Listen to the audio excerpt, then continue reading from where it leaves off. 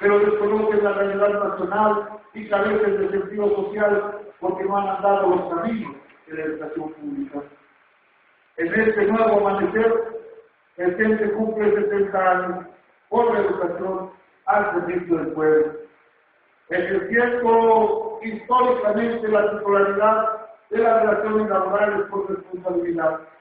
adecuando con respeto a las instituciones y al Estado de Derecho, buscando siempre la mejora continua de la calidad educativa y al mismo tiempo la calidad de vida de los docentes. Somos un sindicato llamado a continuar transformándose, más cercano a los trabajadores, generando esperanza con una comunicación más horizontal, fomentando acciones y servicios innovadores, actuando con transparencia, honestidad y eficacia en la gestión, que den certidumbre y confianza, unidad y cohesión,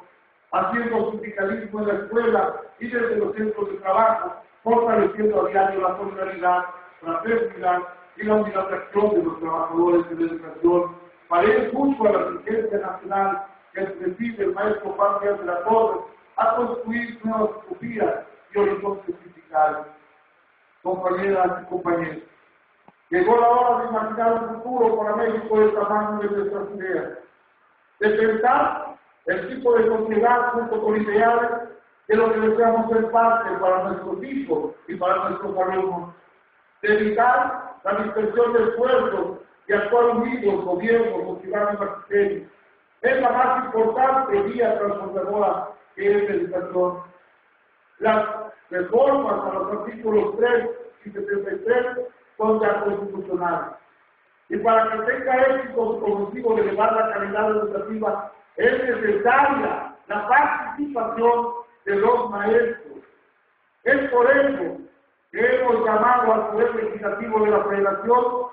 exhortándolo para que se fortalezca el espacio del diálogo institucional con el Sindicato Nacional de Trabajadores de la Educación.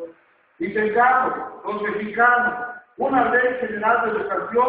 del Servicio Profesional Docente y del Instituto Nacional para la Evolución de la Educación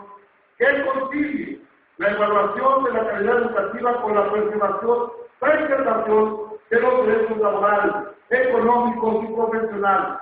que de manera legítima hemos conquistado a través del tiempo, porque no se contraponen y no son excluyentes unos con otros.